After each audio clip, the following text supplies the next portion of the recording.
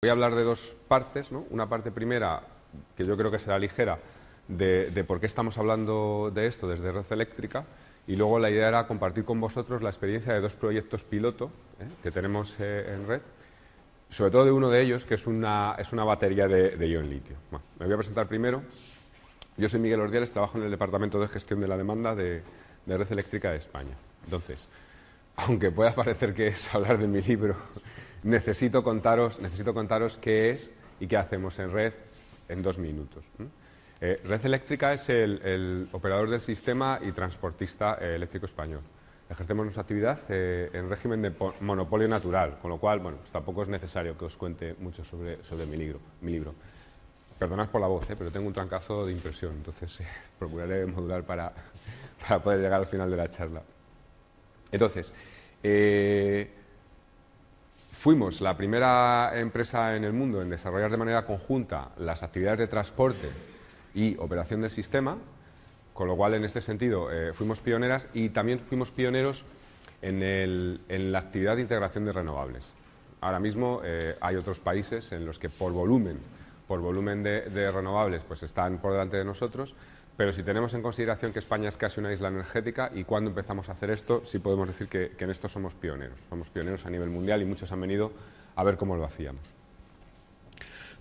tenemos dos funciones como TSO. TSO es Transmission System Operator. Entonces tenemos una primera función que es eh, como transportista. Transportista significa que, que, diseñamos, que construimos y que mantenemos la red de muy alta tensión, la red de transporte, que es aquella que está a 220 kilovoltios o más de tensión.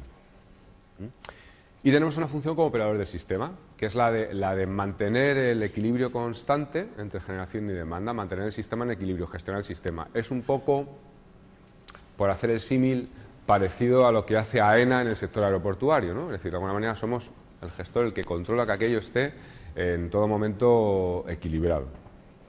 Y esto, en el caso de, no vamos a entrar en esto en la ponencia de hoy, pero en el caso de España, todo lo que tiene que ver con los mercados, todo lo que tiene que ver con oportunidades de negocio, oportunidades de, desarrollo, de lo que el almacenamiento al final pasa por mercados. Es decir, todo lo que, se gestiona dentro del, sector eléctrico, de cómo funciona, es a través de mercados. Es decir, nosotros hacemos una gestión de esos mercados, no de los de energía, sino de los de servicios de ajuste. ¿Y por qué digo esto? Bueno, ya se ha dicho esta mañana en varias ocasiones. Se ha dicho que la electricidad es difícilmente es un vector, que es el único que a diferencia de otros es difícilmente almacenable. No imposible, o sea, la frase de, no it's not storable no es 100% correcta, pero es difícilmente almacenable. ¿no? Por eso estamos hablando de almacenamiento hoy aquí. El carbón, el gas, eh, los hidrocarburos, cualquier otro vector energético, el hidrógeno es mucho más fácilmente almacenable que la electricidad. Claro, esto que parece una obviedad y que parece que es el eje de por qué estamos aquí hoy, yo cuando estaba escuchando a los ponentes anteriores y, decían, bueno, es que cuando hay un excedente de renovables lo almacenamos, ¿no? O sea, yo decía, yo quería ponerme en el lugar del resto de vosotros y, y qué estarán entendiendo por esto de que cuando hay un excedente de renovables lo almacenamos. Es que no puede haberlo. O sea, no es que, es que no, puede haber excedente en ningún instante. Es decir, esto de que en cada momento hay que consumir lo mismo que se genera, al revés, hay que generar lo mismo que se consume, es un equilibrio que tiene que ser instantáneo, en cada milisegundo. O sea, no vale decir, bueno, ahora hay más generación eólica, pues la guardo. No, no, no puede haber, tiene que haber la misma que demanda en cada milisegundo. Cada vez que una planta industrial arranca sus procesos, cada vez que empezamos todos a encender los aires acondicionados, cada vez que sucede algo de esto, tiene que haber una respuesta por detrás de todo el sistema eléctrico del orden de milisegundos para mantener la frecuencia del sistema en los 50 hercios de, consigna. Y bueno, ¿y qué pasa si no sucede? Pues qué pasa si de repente hay más generación, ¿no? Porque pues si, eso sucede, lo que se produce es un blackout, se produce un, cero, que depende del exceso de generación que tengas, pues bueno, tendrá mayores o menores consecuencias. Es decir, este equilibrio tiene que ser instantáneo en cada momento. Entonces no vale solo con decir, oye, se genera más. Em, lo guardo, sino que tengo que gestionar, ese, ese, se genera más, tiene que estar gestionado. No es que se genera más porque sí, ¿no? ¿Mm? Vale. Claro, esto abre una puerta. Yo aquí quería daros unas cifras para, tratar de entender eh, por qué estamos hablando de esto. O sea, en el caso de España, antes nos hablaba Ana de, la, de la energía solar, de la solar térmica. De la fotovoltaica. Entre la solar térmica y la fotovoltaica, fotovoltaica tenemos instalados del orden de unos 7.000 megavatios en España, ¿no? 4.000 y pico de fotovoltaica, 2.000 y pico de, solar térmica, casi 7 en conjunto. Y de eólica tenemos instalados cerca de 23.000 megavatios de eólica.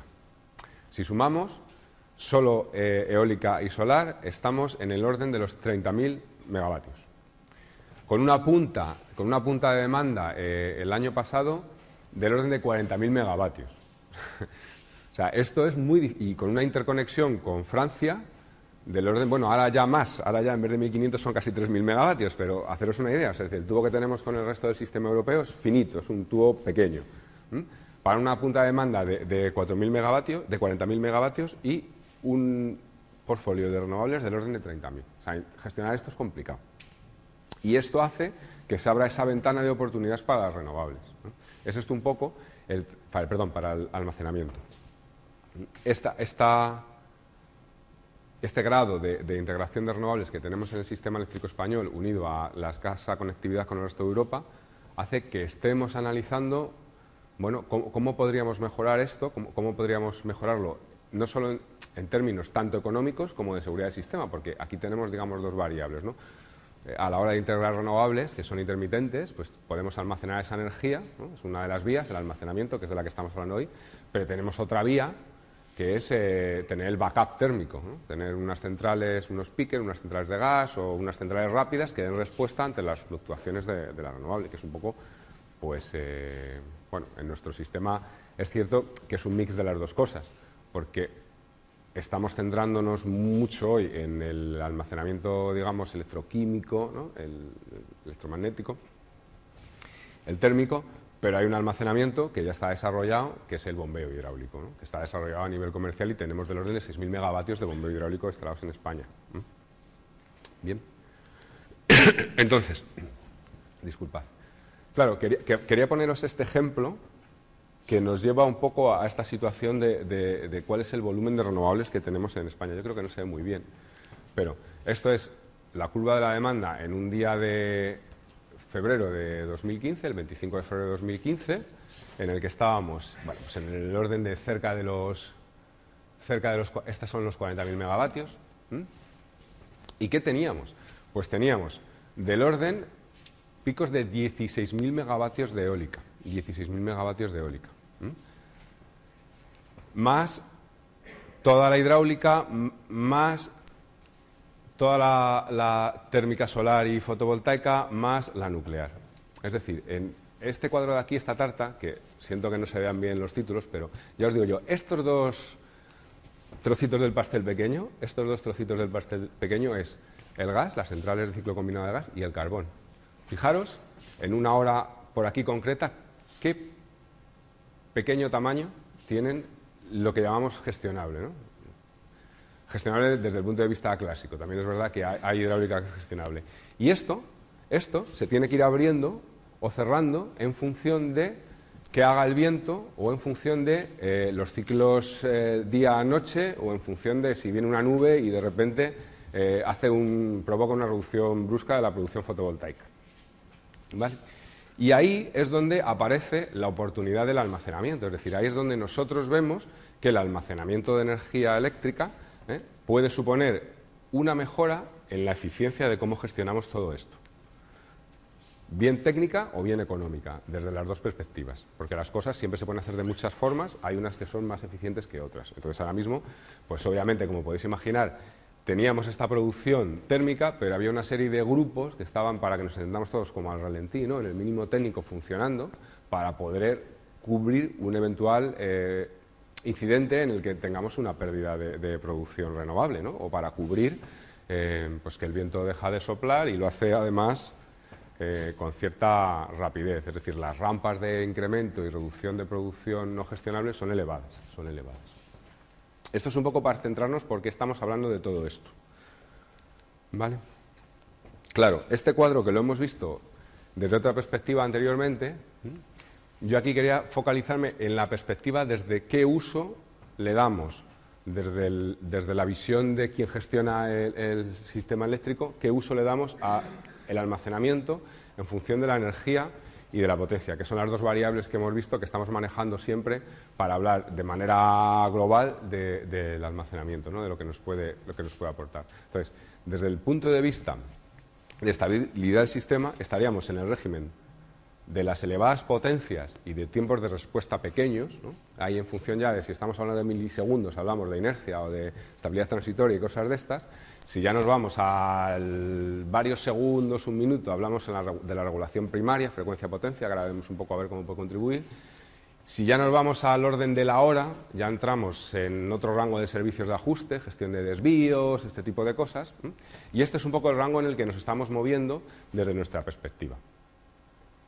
Ya veis que eh, el Renewable Energy Management es como global, ¿no? Es decir, la gestión de las renovables se puede abordar desde múltiples perspectivas, no solo desde la perspectiva del operador del sistema del transportista, sino que incluso puede ir desde la perspectiva del propio consumidor autoproductor, ¿no? Sabéis, no sé si alguien hablará, probablemente alguien después hablará desde la perspectiva del consumo, del almacenamiento de la perspectiva del consumo, porque recientemente se aprobó un Real Decreto, el Real Decreto de Autoconsumo, el 900-2015, que de alguna manera gestiona cómo tiene que ser este autoconsumo en España. Autoconsumo es eh, a la vez que consumo produzco electricidad. ¿no?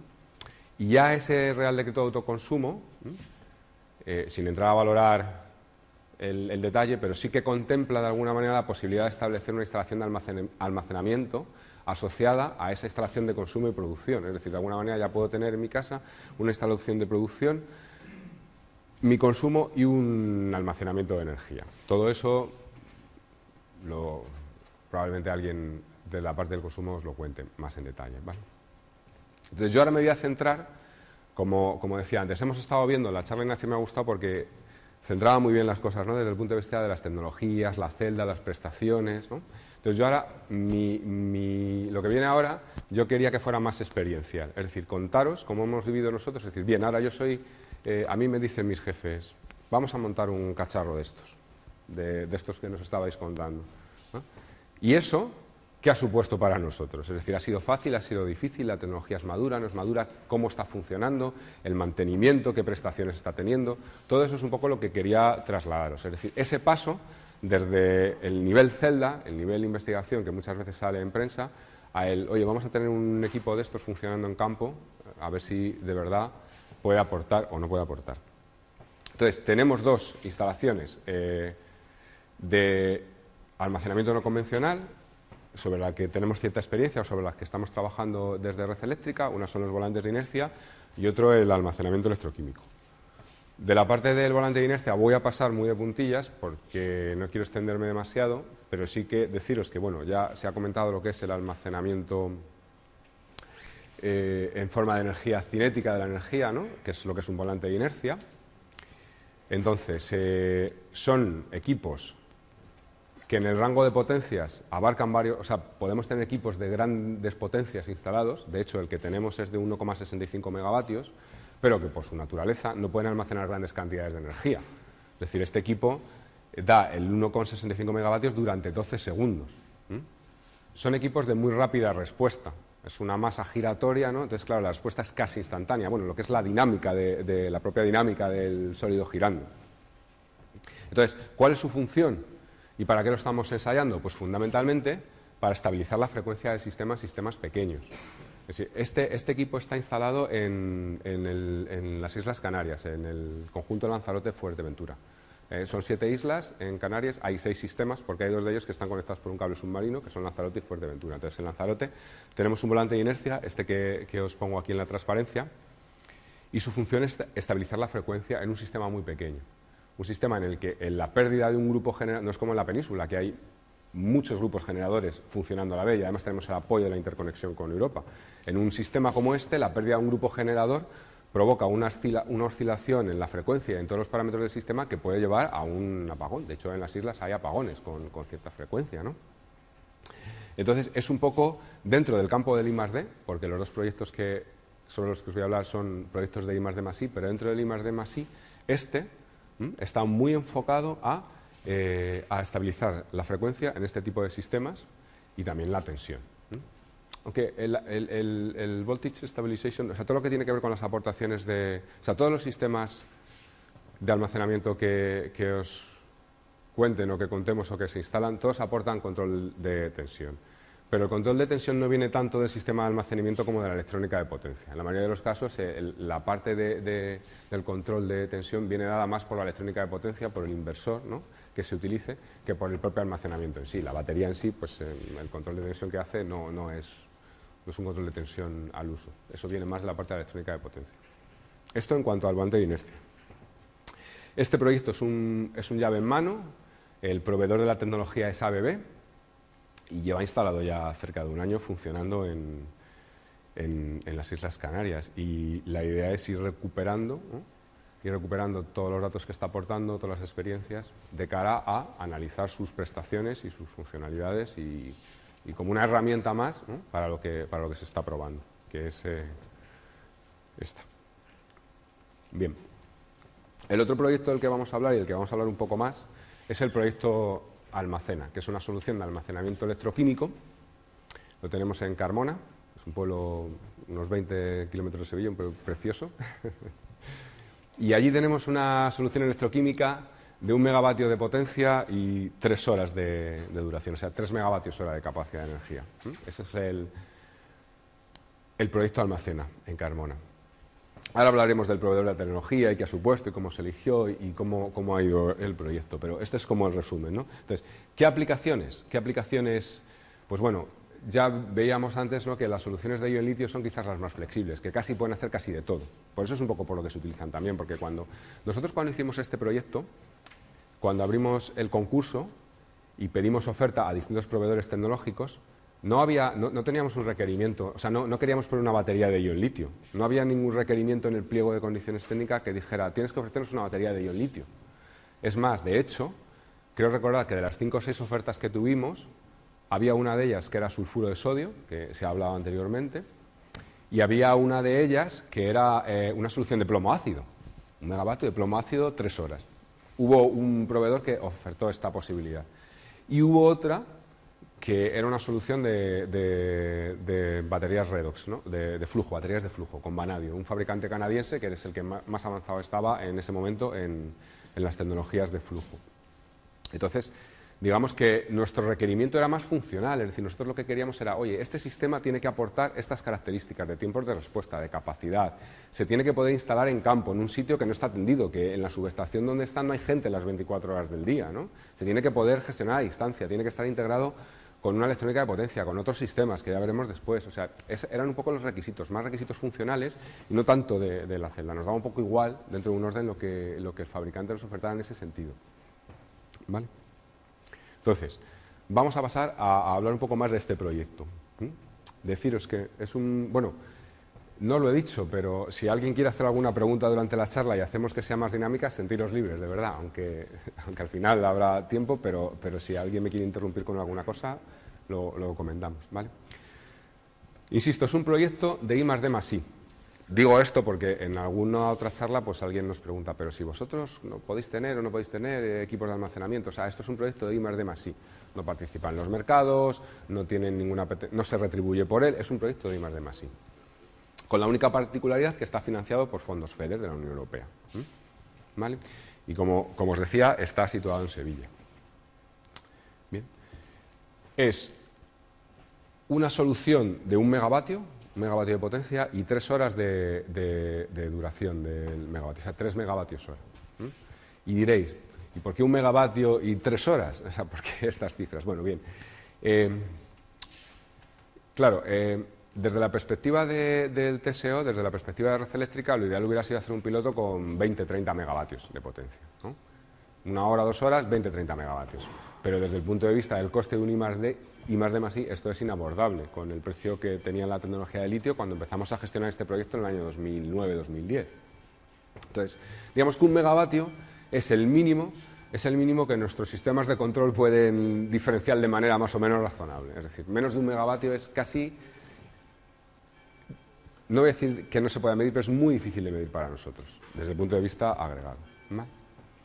Obviamente, un megavatio en la subestación de Carmona, que son 600 MVAs de potencia aparente, no, no, va a mover nada. O sea, este equipo no mueve la frecuencia del sistema, no controla ninguna tensión en ningún nodo de Carmona, Pero, pero el hecho de ser un equipo pequeño ubicado en una instalación real nos permite ensayar una serie de mecanismos, ensayar una serie de funcionalidades que de otra manera no sería posible probar. Eso es un poco el origen del tamaño y la ubicación. Otra cosa que también nos preguntan a veces, oye, ¿por qué en Carmona y en Sevilla? ¿no? Pues aparte de que, porque como ya he dicho, es un sitio precioso, ¿no? que es un... aparte de eso, pues tenía que ser en una subestación relativamente nueva, donde hubiera espacio disponible, porque estamos hablando de un contenedor de 16 metros de largo, 50 toneladas, eh, no solo el contenedor, Claro, es que no es solo la batería, es la batería, el equipo de refrigeración, el centro de transformación, el otro transformador para servicios auxiliares, todo lo que eso conlleva. Entonces necesitamos un sitio con espacio relativamente nuevo, amplio, en el que poder instalar el equipo y que estuviera bien comunicado. al principio se barajó también eh, ubicar eh, el equipo en Canarias o en Baleares, pero bueno, en Canarias ya estaba previsto el volante de inercia, entonces por tema de comunicaciones, eh, desde Madrid se llega fácil con AVE y era un... O sea, elementos logísticos al final son los que muchas veces hacen que se pueda instalar en un sitio u otro. Bien. Está conectado a la red de transporte. Ahora ya veremos a ver cómo se hace eso, porque cómo conecto un sistema en el que la tensión de continua son 960 voltios, el bus de continua va a 960 voltios, ¿Cómo conecto eso a unos transformadores que están en 220 kilovoltios? ¿no? O sea, es que decir, luego ya la realidad, pues eso, estábamos hablando, al principio hablábamos de niveles de tensión de celda de 3,6, 3,7 voltios, creo que es eh, el equipo nuestro. O sea, eso lo vas agregando, lo vas apilando, vas haciendo ahí como un Lego, que ahora veremos cómo es, y llego a un bus de continua 960 voltios, pero es que todavía me queda llegar alterna a 220 kilovoltios, ¿no? O sea que, bueno, todo tiene su complejidad. Todo tiene su complejidad, ¿vale? ¿Cuáles eran los objetivos del proyecto? Es decir, pues bueno, cuando uno hace esto, lo hace para algo y por algo. ¿no? Entonces, nosotros nos habíamos marcado como cuatro objetivos básicos. O sea, el primero de ellos era especificar y definir un sistema de almacenamiento de energía. A nosotros cuando nos dijeron, venga, vamos a montar uno de estos, preparar un pliego de condiciones. Dices, pero esto quién lo ha hecho antes en el mundo? O sea, ¿quién, no, hay tantos. O sea, no es como cuando vas a especificar un centro de transformación, una subestación o incluso una planta de generación del tipo que sea. Es decir, no es fácil encontrar referencias de qué es lo que tienes que especificar, en qué te tienes que fijar para especificar esto. Entonces, bueno, esto requiere una labor de, hablar con otras personas, de, otras empresas, no solo TSO, sino de, con distribuidores, con empresas generadoras. Fuimos a Japón, eh, hablamos con gente de, de, NGK, que son los que fabrican las, actualmente las baterías de sulfuro de sodio, con gente de TEPCO entonces, que tenía alguna instalada, para ver, oye, esto, ¿cómo lo hacemos? Eso, fue un primer elemento clave a la hora de trabajar. Ingeniería y construcción. Pues eh, obviamente toda la, gente de red eléctrica que se dedica a la parte de ingeniería y construcción tiene una dilatada experiencia en, construir subestaciones, en centros de transformación, en equipos de, de muchos tipos de equipos. Pero nadie había construido, nadie había proyectado un proyecto de estas características, aunque siempre puedes encontrar similitudes con otros, ¿no? Y al final, al final, disculpad, pero es que estoy fatal. Al final tienes que ir haciendo un lego de aquí y de allá, ¿no? Un cortapega, para conseguir definir el, proyecto, ¿vale? Claro, otro, otro elemento, fijaros, no teníamos ningún requerimiento en cuanto al tipo de tecnología, pero Claro, esto no era pedir, no era pedir, yo hace poco he pedido a China una batería para el móvil, que es una celda o las celdas que sean pequeñitas, te las mandan por sobre. O sea, esto es un contenedor de 16 metros, 50 toneladas, eso es nuestra solución. Había otras que eran de menor densidad energética y eran varios contenedores que tiene que llegar por las aduanas. Y corríamos el riesgo de que aquello llegara a la aduana y no lo dejaran pasar, porque el que está allí con sus papeles en la aduana dice, oye, pero ¿qué me estáis trayendo aquí? Y este fue uno de los motivos por los que parcialmente se descartó, desde este punto de vista, la, solución de las NAS, de las de sulfuro de sodio. O sea, la de sulfuro de sodio y nuestro equipo al final, desde el punto de vista económico y técnico, bueno, era, era al final, digamos que ese es un ranking para lo que nosotros queríamos tener una puntuación similar. Pero era un riesgo, era un riesgo que, que, no lo puedes evaluar en, en, cierta medida. No corres ese riesgo de que llegues allí y no te dejen pasar el equipo. Mientras que con el litio es algo que es más estándar. O sea, las baterías de litio se mueven por todo el mundo y hay menos dificultades. Además, nuestro proveedor, el, proveedor que al final elegimos, ya tenía experiencia en colocar en Europa, en la Unión Europea, otra batería de litio, ¿vale? porque la nuestra, luego hablaremos del proveedor, era la segunda que montaba dentro de la, Unión Europea. Obviamente, o sea, este es el obvio ¿no? del que hemos estado hablando, el probar las capacidades de flexibilidad. A nosotros nos gusta, como decía Ana antes, también hablar de flexibilidad. ¿no? ¿Qué flexibilidad aporta esto al sistema? ¿Eh? Y en esto estamos ahora mismo. Y por supuesto, claro, estamos hablando de equipos en concreto, el del proyecto Almacena va a estar en operación prevista hasta el año 2020, desde finales de 2013, principios del 14 que se puso en servicio, pero estos equipos, una vez que se pongan en la red o donde se pongan a nivel comercial, su vida útil debe ser del orden de 15, 20, 25 años. ¿no? Entonces, hay que, hay que mantenerlos, hay que mantenerlos. Este es otro elemento clave, ¿no? el cómo haces el mantenimiento, cómo gestionas el mantenimiento de estos equipos. Bueno, eso era un poco el objetivo del proyecto. Esto fue un poco lo que montamos, ¿no? por daros una visión de, lo que estuvimos montando en, en Carmona. Tenemos un contenedor, 16 metros, creo que son 52 pies, porque las medidas estándar, como venía de Estados Unidos, son 52 pies, que tiene 32 racks, 32 armarios de estos que vemos aquí. ¿vale? La unidad mínima, la unidad mínima operable para nosotros es un rack de estos, es un armario. Con uno de estos solo armarios el equipo puede funcionar y puede operar de un total de 32 armarios, 32 racks que tenemos en el equipo. Cada uno de estos racks, a su vez, tiene 22 módulos. Cada pegatina de estas amarillas que veis es un módulo, hay 11 y 11, y cada módulo a su vez tiene 12 celdas dentro. De tal manera que si vas, vas configurando, vas escalando potencia y energía, las dos, las dos variables. Y esto era importante, para nosotros también era importante la escalabilidad de la solución que eligiéramos. Es decir, no solo valía con montar una instalación de un megavatio, sino que tenía que ser escalable. Es decir, si mañana quisiéramos poner 100 como estos, se tendría que poder hacer. Bueno, se tendría que poder hacer. Era una de las cosas que queríamos testar dentro del I de Masí. No solo el poder instalarlos y que se conectaran entre ellos, sino que se hablaran entre ellos y que se pudieran gestionar como un todo. Es decir, que el sistema de control, del que hablaremos un poquito también, pudiera gestionar aquello como si fuera un, conjunto de cosas porque una de las cuestiones que surgen cuando hablamos del almacenamiento es si distribuido o concentrado, ¿no? es uno de, los elementos. Pero bueno, al final, al final, cuando hablamos del almacenamiento electroquímico, la unidad mínima es la celda, es la celda, con lo cual siempre tienes que ir agregando celdas. Luego, debería dar un poco igual o no, dependiendo dónde estén estos contenedores, pero de alguna manera se tienen que poder hablar y se tiene que poder coordinar eh, la gestión de todo ello. Bien. Ya sé que no se ve nada en el unifilar. Yo creo que en la versión impresa que tengáis se ve bastante mejor, ¿vale?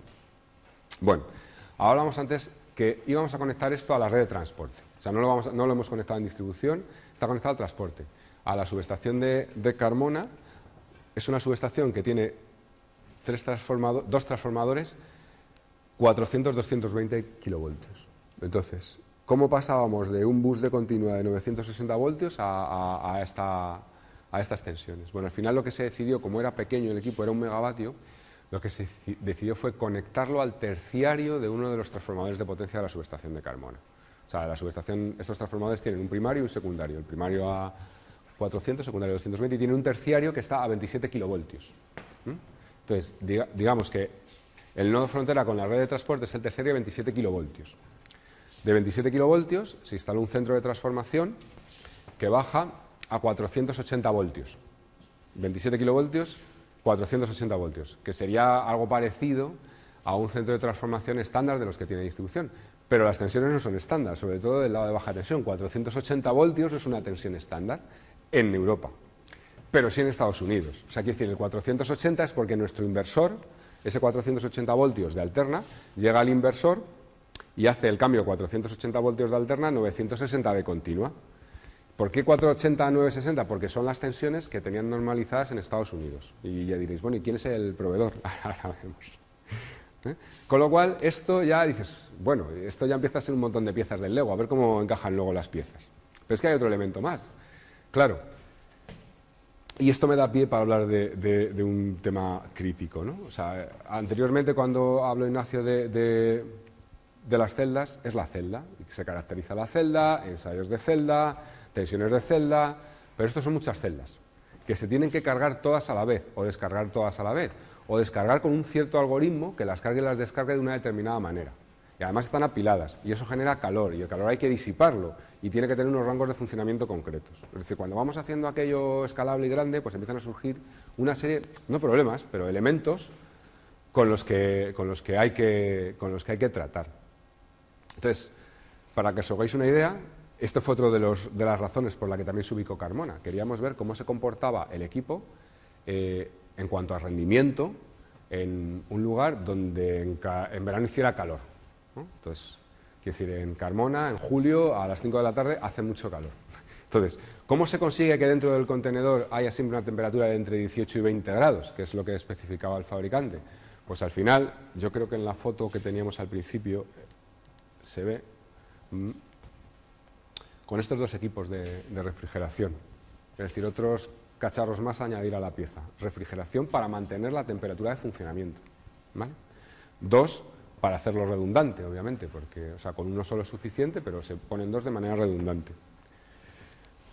Estos dos equipos, ¿en qué afectan?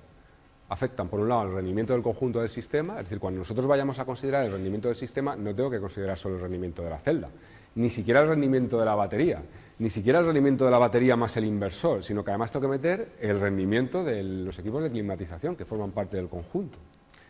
Pero claro, ¿qué sucede? Que los equipos de climatización son equipos europeos que funcionan a 400 voltios, de tensión trifásica a 400 voltios. Y yo tengo un bus a 480 voltios de trifásica, es decir, otro transformador más, ¿no? Metemos otro transformador de servicios auxiliares que baja de 480 a 400, ¿vale? Para el equipo de climatización, con lo cual otro elemento más a montar y otro elemento más a tener en cuenta en el rendimiento del conjunto del sistema. O sea, veis que la, película se va haciendo un poco más compleja y este es el esquema que tenemos aquí. Cuando hicimos el diseño, se, diseñó de tal manera, me, me, podréis haber dicho, hombre, ya, pero para los 400 voltios de los equipos de climatización podrías haber cogido la alimentación de cualquier otro sitio de la subestación, ¿no? Pues sí, se podía haber hecho, pero lo que queríamos era, digamos, dejar aquello que solo tuviera un punto de conexión con el resto de nuestra instalación. Es decir, oye, vamos a analizar esto, ya es, un piloto, un I de más I, es con fuego real porque está conectado a la red de transporte y eso ya es un elemento arriesgado, pero vamos a conectar solo en un punto, es decir, que no interfiera, de tal manera que nos va a resultar mucho más sencillo medir el rendimiento, ver cómo aquello funciona y demás, ¿vale? Es decir, obviamente, entre las lecciones aprendidas, una de ellas es, pues, de este diseño original que se hizo de una determinada manera, habría cosas que cambiaríamos. Es más, ha habido cosas que ha habido que cambiar después. Por ejemplo, el sistema contra incendios. ¿no? El sistema contra incendios eh, que tiene el contenedor es un sistema basado en Novec, que es un gas inerte, que mm, sofoca el fuego y tú puedes respirar y este tipo de cosas. Pero todo el sistema contra incendios, por reglamentación, tiene que estar integrado dentro del sistema contra incendios del conjunto de la subestación. ¿no? Con lo cual, no se podía aislar todo lo que, todo lo que hubiéramos pensado en un principio. Es decir, hay que hacerlo, pero eso nos sirvió también para testar esa integración, ver qué tal iba todo aquello. Bien. ¿Cuáles son las funcionalidades que le exigimos al proyecto inicialmente? Bueno, desde el punto de vista de, de gestión del sistema eléctrico le pedimos tres cosas. Le pedimos tres cosas. Que ofreciera control frecuencia-potencia. O sea, esto los que sois expertos en sistemas eléctricos sabéis lo que es, pero para los que no, imaginaos que es como si tuvierais el regulador de velocidad de un coche, que tú dices vas a 100 por hora, lo pones a 100 por hora y en función de si hay cuesta o no hay cuesta, el motor mete o saca potencia para ir a 100 por hora. ¿no? Pues esto es lo que le pedíamos al sistema almacena, que es lo que tienen que dar todos los generadores en el sistema eléctrico español, con unas determinadas características, este sistema tenía que proporcionar ese control. Bien, es decir, que cuando la frecuencia tiende a caerse, eh, tiene que inyectar más potencia y cuando la frecuencia tiende a subir, que el sistema se acelera, pues tiene que retirar potencia e incluso absorber energía en este caso del sistema. Estábamos hablando del orden de segundos, aquí el tiempo de respuesta es del orden de segundos. De hecho, al implementar este control frecuencia-potencia, hubo que meterle un retardo a la respuesta del sistema, porque el sistema era demasiado rápido. El sistema responde mucho más rápido que lo que requiere, el control frecuencia-potencia estándar que tenemos definido en la zona en, la zona en SOE de Europa. es decir, yo no sé, porque no está en el objeto del proyecto y en principio no está previsto probarlo, pero no sé ni siquiera si es posible que pudiéramos emular cierta inercia con el sistema almacena por la rapidez de respuesta que tiene. Entonces, la respuesta más rápida que nosotros queríamos sobre era esta y íbamos a priori suficiente. Control de, tensión, otro de los elementos. Que insisto, aquí, más que prestaciones de la batería, son prestaciones del inversor. El inversor que tenemos, que es un inversor de un MBA, pues tenía que tener ciertas prestaciones y había dos definidas. Una que funcionara con unas consignas de reactiva, es decir, yo le decía, oye, inyecta reactiva o absorbe reactiva con un programa, una consigna. Esa era una función. Y la otra función era que funcionara en bucle cerrado, tratando de mantener una tensión de consigna, ¿no? Bucle cerrado, mantener una tensión de consigna en el punto frontera que le indicáramos, en el terciario del transformador. Obviamente no puede, o sea, no puede mantener la tensión en el punto frontera, pero sí que lo que podemos testar es el, funcionamiento del equipo. El equipo lo intenta, él trata de, seguir esa consigna de tensión.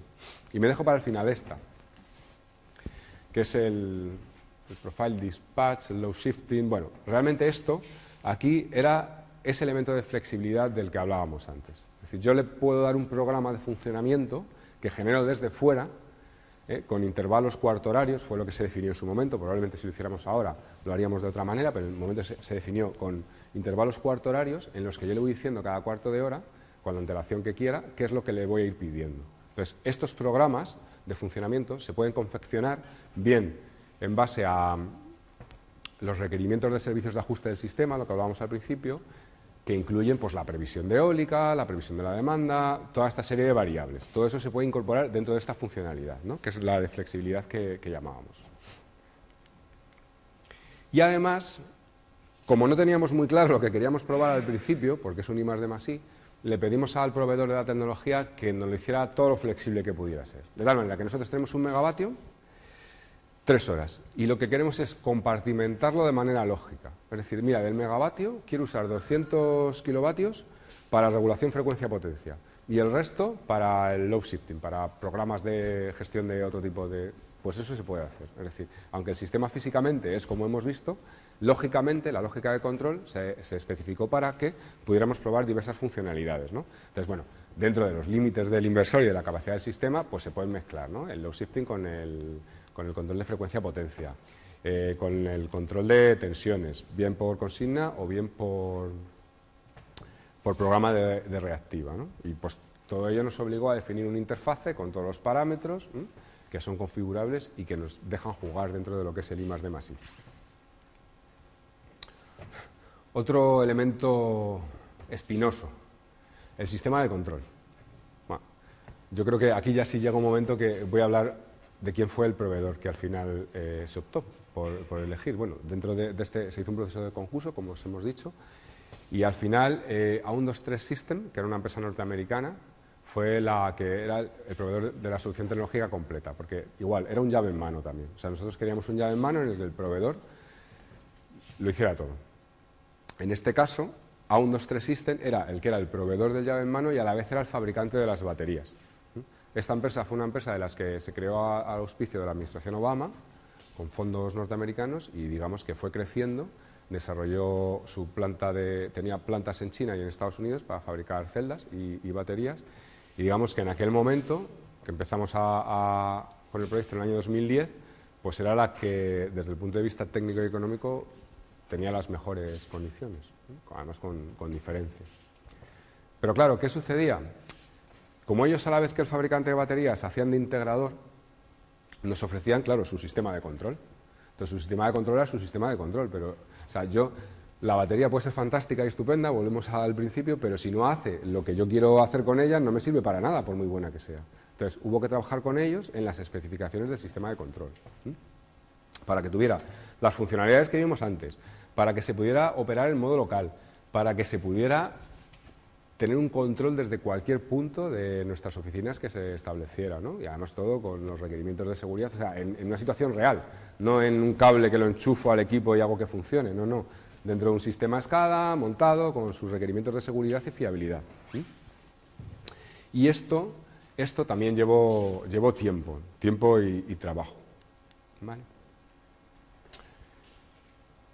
Y por supuesto, además de, esta posibilidad de, acceder en remoto y en local, hubo que desarrollar pues, nuevas funcionalidades que ellos no tenían previstas. Por ejemplo, un ejemplo por ilustraros. En la regulación frecuencia-potencia, eh, ellos tenían preimplementada la curva que tiene una banda muerta y luego las dos alas ¿no? para el control frecuencia-potencia, que es la que se utiliza en Estados Unidos, en América. Sin embargo, en Europa nosotros queríamos la, curva que, es con la que nos manejamos dentro de, Europa, en ENSOE, ¿no? que es una banda muerta, dos alas, luego otras dos bandas muertas y otras dos alas que pueden tener distintas pendientes. Pues esto requirió de un desarrollo importante en el software de control. Es decir, no valía con el paquete que ellos ya traían, ellos te vienen a decir, oye, mira, esto es como el IKEA, te lo vendo y te lo monto. No, no, hay que adaptarlo. Hay que adaptarlo en cada caso y esa adaptación requiere, o sea, requiere tiempo, dinero y si no se hace bien puede tener su repercusión después en el funcionamiento del equipo. ¿Vale? ¿Sí? Bien. Bueno, ¿dónde estamos ahora? ¿Dónde estamos y a dónde vamos? ¿Dónde estamos con el proyecto Almacena? Bueno, ahí lo primero que decimos es, estamos en la fase de operación y mantenimiento normal, ¿no? con la empresa NEC y diréis, pero si nos ha dicho a 1, 2, 3. Aquí viene otra parte del I de Masí. Y, bueno, y viene a hablar un poco de, me apunto también de la primera charla, ¿no? el tema de la madurez que hablabas, ¿no? La madurez de las tecnologías y de las empresas que venden la tecnología. A 1, 2, 3 System, con la que empezamos a trabajar en el año 2009-2010, en el año 2012 pues eh, entró en lo que los americanos llaman Chapter 11, que es una especie de preconcurso de acreedores o algo parecido, de tal manera que durante toda la fase de ingeniería y pues, oye, que, estamos en Chapter 11. Con lo cual el proyecto se para, eh, no sabemos muy bien qué va a pasar con ellos y finalmente lo compra una empresa china, no NEC, todavía no hemos llegado a NEC, lo compra una empresa china que se llama Wanxian America. Una empresa, Wanxian es una multinacional china y tiene una sede en América, que es Wanxian América, que se queda no con toda A123, sino parte en A123 System y la parte de negocio de, red, de redes es la que compran, porque la otra parte, la de negocio para automoción, baterías para automoción, esa lleva otra vía de, evolución. Con lo cual, nuestro proyecto tenemos que empezar a, gestionarlo con, con la nueva empresa. Cosas que estaban en marcha, que se habían trabajado y sobre las que se había desarrollado, pues eh, dejan de estar tan claras como estaban al principio y hay que volver a revisar todas las especificaciones, todo el alcance técnico, el alcance económico. O sea, con lo cual, un proyecto que inicialmente es un I más D más I técnico, se convierte en un I más D más I técnico, más jurídico, más eh, de compras, ¿no? de la parte de compras. Y diréis, bueno, es que habéis tenido mala suerte con, con esto. Bueno, nosotros después, eh, durante, antes, durante y después, eh, tenemos, sabéis que, uno de, los TSEUs europeos que está inmerso en procesos de, contratación de almacenamiento, mucho más a nivel de negocio que nosotros, pues nosotros es un I más de más I, pero Terna en Italia, que es el, TSO italiano, está en un proceso de despliegue mucho más masivo de, almacenamiento. Y hablando con, la persona de Terna, que, que Ana Carolina Tórtora, que alguno la conocéis seguramente, pues nos contaba las mismas cosas, las mismas cosas. Era, bueno, dices, por fin me siento entendido por alguien, ¿no? Bien. Bueno, finalmente encauzamos la relación con Wanxian América, eh, se pone en, no sin ciertas tensiones, se pone en servicio el equipo a finales de 2013, principios de 2014, un año y pico ya de retraso sobre el cronograma inicial, que era a finales de 2012, y el retraso fue fundamentalmente debido a este tema de su Chapter 11. Llega julio de 2000, junio, junio de 2014 y resulta que Wanxian América vende su negocio a NEC, Neces, ¿no? la japonesa, es una japonesa, NEC, eh, Energy Storage, Neces.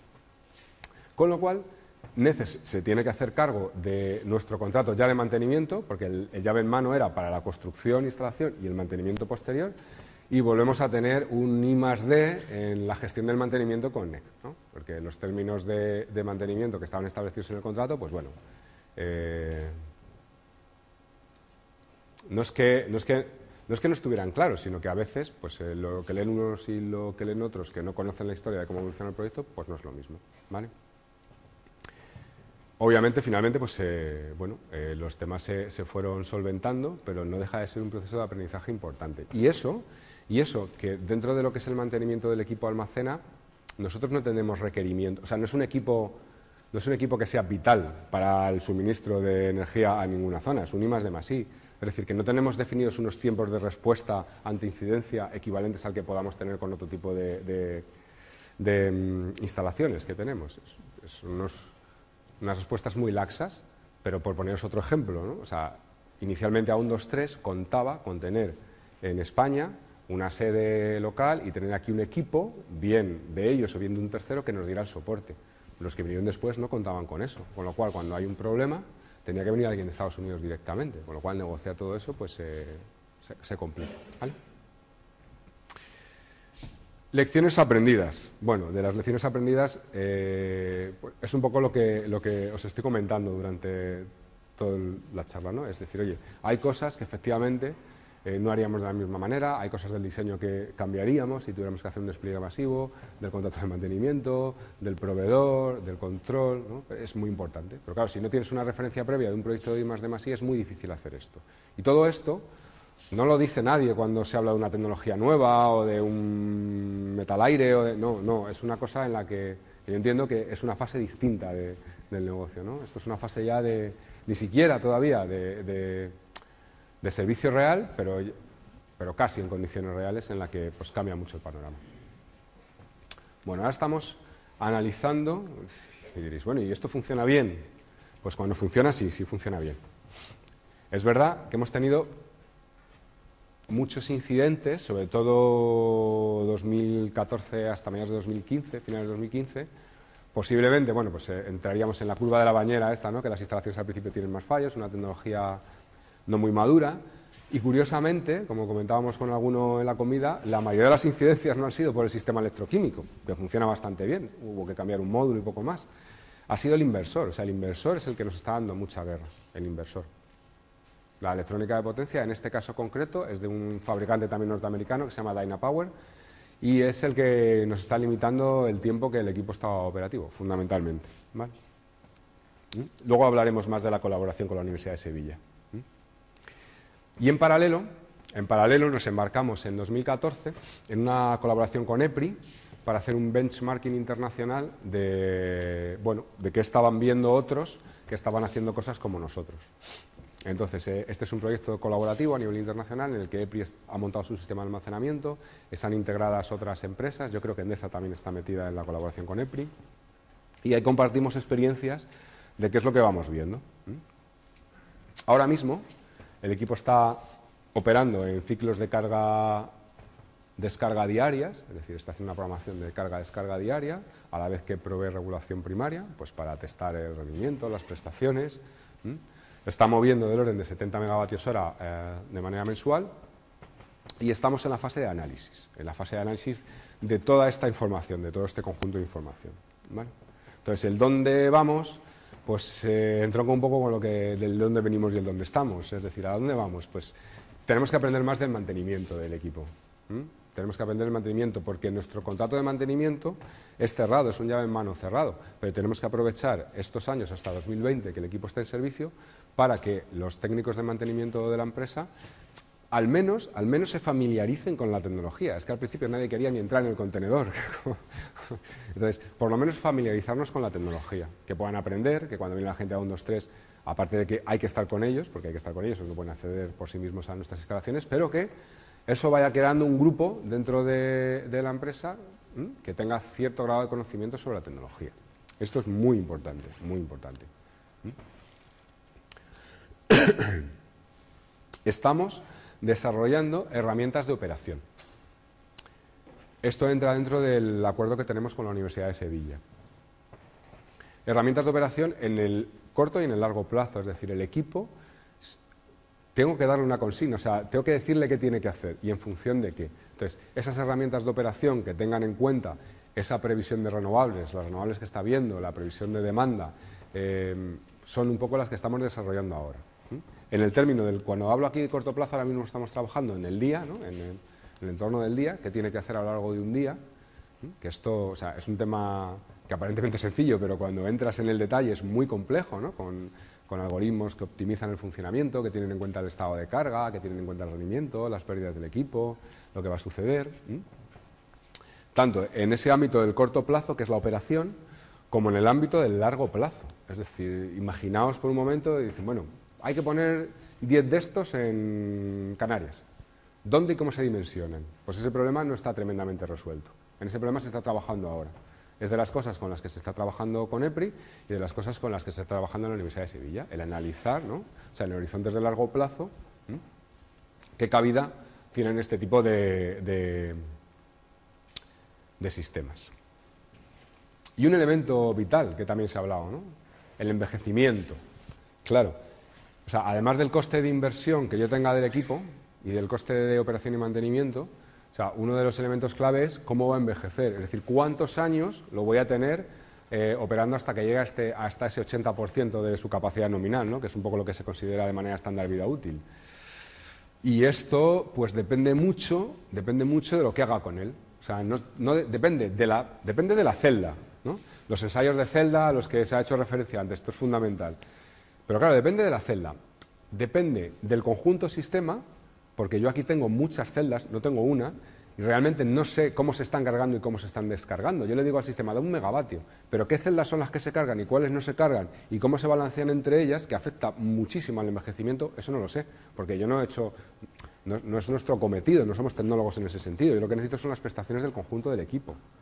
Pero eso es crítico a la hora de evaluar el envejecimiento. De hecho, nosotros tenemos un sistema que nominalmente es un megavatio, tres horas y no, me, puede dar más, o sea, yo no puedo hacer nada más con él, no puedo someterle a una descarga de más de un megavatio, porque el inversor no me da más de un megavatio y el control es lo que me da.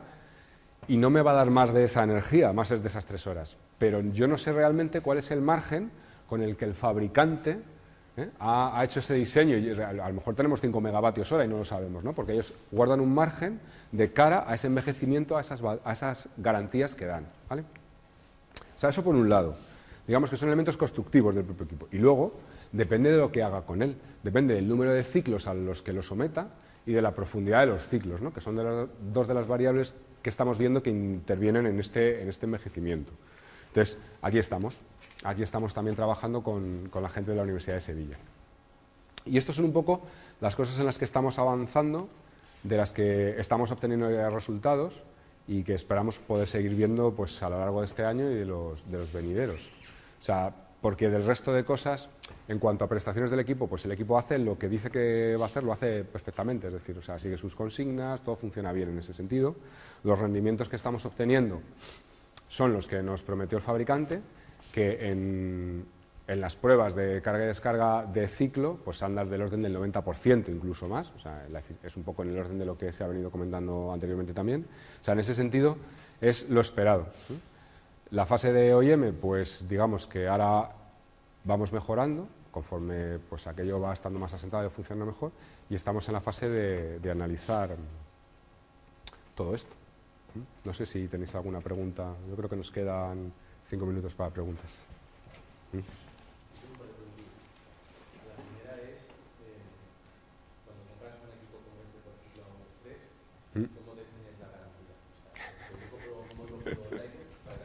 Sí. Y el fabricante me dice 100 vatios, más o menos 10%, hmm. y a 20 años. Y la bajada de, de, de más de 10% en 20 años, te lo sustituye. Claro. En un caso como este, donde ni siquiera el fabricante va a saber es verdad. Claro. Te compras una batería de litio ya. y no te aguanta más años. Ya. Pues mira, en este caso concreto, o sea, tenemos que volver, eso que tú me dices va a ser un resultado del proyecto. Es decir, si alguna vez tuviéramos que especificar una garantía de un equipo comercial, como se hace con transformadores, con posiciones, con interruptores, sería en parte el resultado del proyecto. ¿Por qué? Porque como era un I más D más I, nosotros al fabricante, como tampoco le sabíamos decir a ciencia cierta lo que íbamos a hacer con el equipo, el uso que se le iba a dar, tampoco nos podían especificar ellos una garantía. Entonces llegamos a una especie de acuerdo en el que, oye, en los dos primeros años la garantía es completa, es decir, da igual lo que hagas, te cubre la garantía, el resto del contrato de mantenimiento